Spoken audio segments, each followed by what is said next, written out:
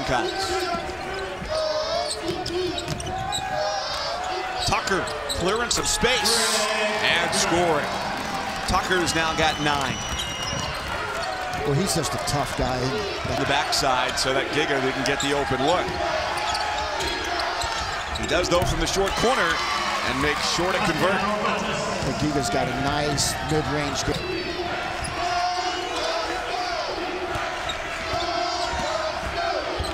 Battle of the posts. Giga, no. The follow is good for Cunningham.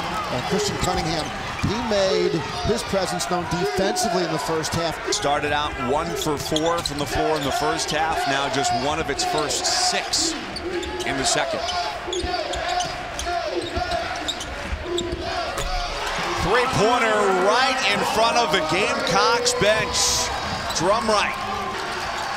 Let's see if Jacksonville State can dump it inside again. Tucker off the screen. Shakes his defender.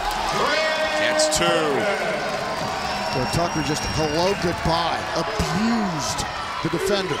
Two for Belmont. He would be a guy I'd try to get involved a little bit more.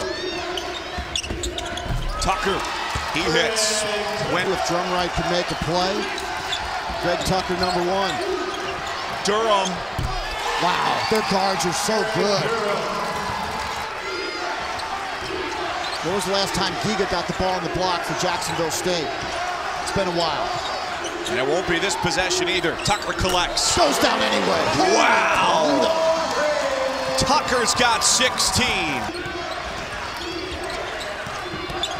Five seconds for Tucker to the basket. Off glass, no. Another offensive rebound. Cunningham with the stick back.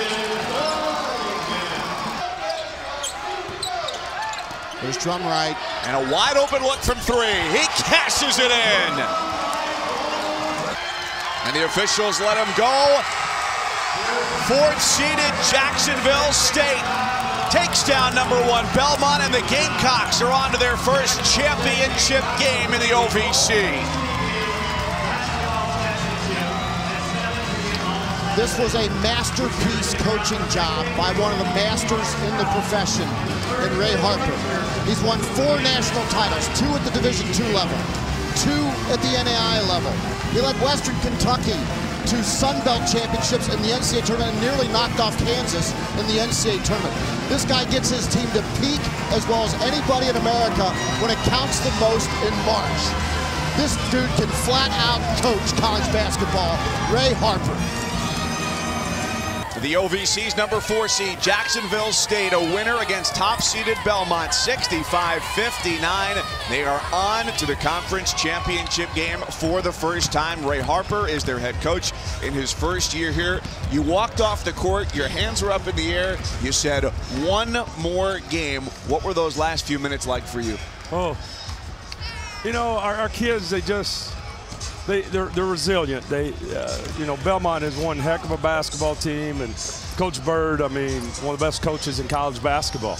And to meet the challenge here tonight, uh, like we did, uh, says a lot about our, our group of guys. And we had talked about we, we played them twice. They beat us double figures both times, but we didn't feel like we played well. And uh, you know, we, we lost a couple games in a row right at the end of the season and went in and won our last game at Morehead. And you could see our confidence starting to grow. And, uh, you know, we've come in here and played two, two really good basketball games. Ray, you shut down one of the most efficient offensive players in America. What was your game plan?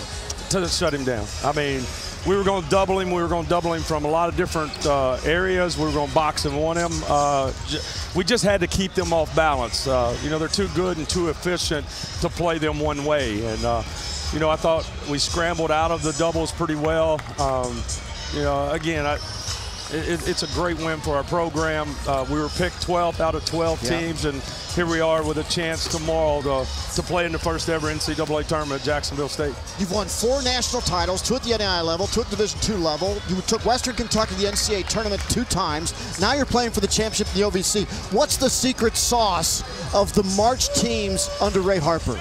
Well, you know, I, I think if, if you'd ask some of my players at this time of year, I mean, we, we go hard. I yeah. mean, don't get me wrong, but what I want this time of year are fresh minds, fresh legs, and confident young men. Guys that we, we talked about before we left the locker room, no heroes. Okay, we're, we're a band of brothers. If we're going to win this game, we have to do it together. No heroes out there today. And uh, I don't know if you saw us last night, but the second half, the way we played last yeah. night, if, if we play like that, uh, we'll have a chance to, to maybe win one more. One of the great coaches in the country, Ray Harper. Thank you, guys. Appreciate it. We know you got family waiting, uh, fans yeah. waiting, and hey, a game waiting tomorrow as well to prep for as Jacksonville State wins at 65-59. Um, just, you know, just tell these kids how proud I am of how they competed. I mean, guys, that's that is one heck of a basketball team that we just beat. Um, you know, they went 15 to one in the league for a reason. Uh, they got one of the best basketball coaches – in all of college basketball. But you know, these guys over the we, we've grown up uh, over the course of the year, and um, you know they believed. We talked about it the last time we played Belmont. Uh, again, take nothing away from them, but we didn't feel like we had played up to our potential. Uh, too many turnovers and too many little things. And tonight, uh, we just made plays. We, we wouldn't be denied.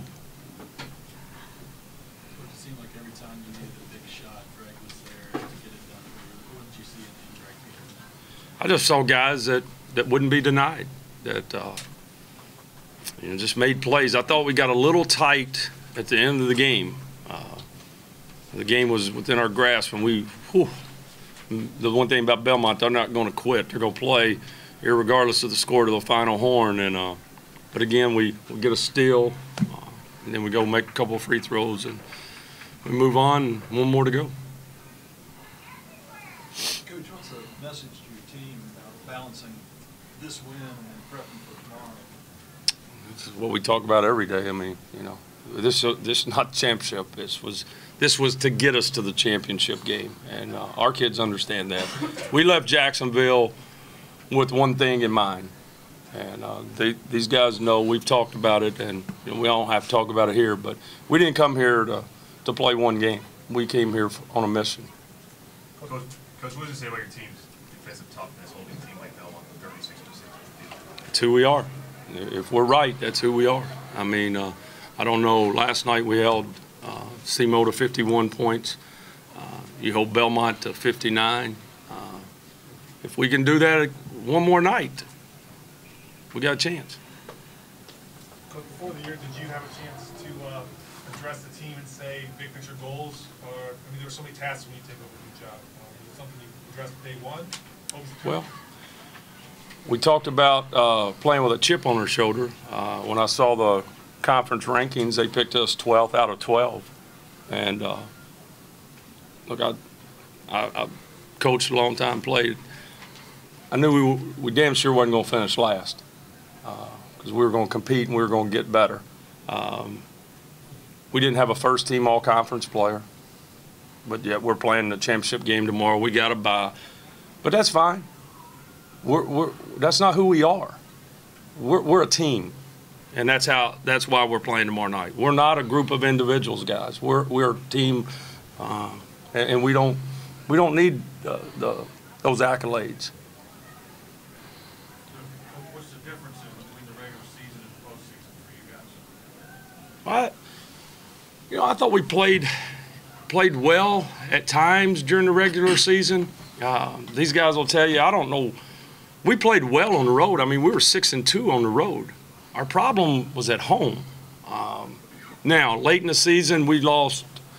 G missed what two games, uh, and we lost both of those. Cunningham was out the the four game four straight games. We lose three of those.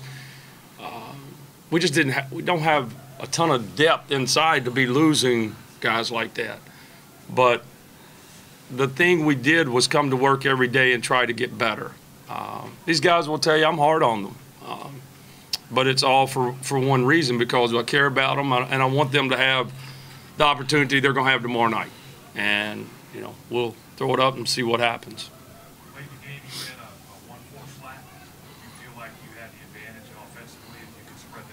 Yeah, we were just going to put it in Malcolm's hands, and I felt pretty comfortable with what I'd seen that – uh, we felt like we, we had them at the end of the first half when we did that, and uh, Tuck's man helped and we didn't kick. Uh, we thought they might help out of the corner. And We get an easy three, or Malcolm could get it all the way to the bucket. So, you know, I, I really wasn't sure they were going to foul there with 44 seconds, three point game. Um, but once they fouled the first time, now all of a sudden I knew that hey they're going to try to extend the game, and so we were able to get our free throw shooters in the game. But uh, you know, you know, hats off to these kids. They just they just they just battled. Would you tell the big fella at halftime to play the whole second half? Stay out of foul trouble. Don't get any silly ones. We we, we need you. Uh, he's played well, and uh, you know, I thought everyone that stepped on the court uh, and guys that did not step on the court contributed in some way, some fashion. I had guys that did not play one second tonight that contributed to this win because of their energy and their attitude on that bench. And if we can, we, if we can continue that, uh, we, we, we wanted to build a culture of winning. Uh, These guys will tell you, I, talked about a lot. Look, losing's a habit, just like winning is a habit. And we had to, we had to change some habits. But, you know, they, these guys didn't fight it. They, they, they bought in and, you know, I just, I, I thank them for, for their effort and, and their attitudes. Greg, Malcolm, can you guys touch on that a little bit? Maybe How, how does it feel you guys to be playing for a championship? Uh, it feels great. Uh, it's something new, but it feels good. it's just a great feeling coming from last year, not even making the tournament to be playing in the championship. Now it's just a great feeling. I really can't really explain it to be honest.